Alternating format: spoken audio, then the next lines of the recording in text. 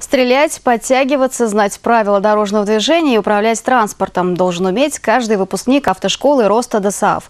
Это и продемонстрировали участники конкурса «Лучший военный водитель». Он прошел в Нижнекамске. На него зарулили и участники из соседних регионов. На четвертое соревнование, помимо ребят из Татарстана, приехали конкурсанты из Башкирии, Чувашии, Удмуртии и Мордовии. За звание самого лучшего военного водителя сражаются 36 человек. Военный водитель, он всегда был нужен, нужен и сейчас, учитывая еще нашу территорию.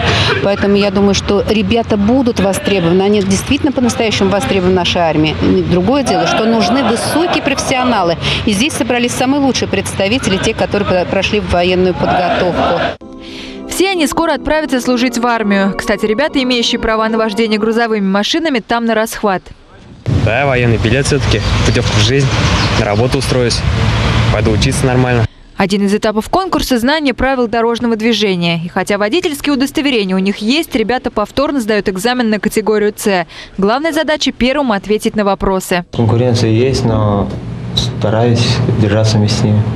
Второе задание тоже на оперативность. Нужно разобрать и собрать автомат как можно быстрее и без ошибок.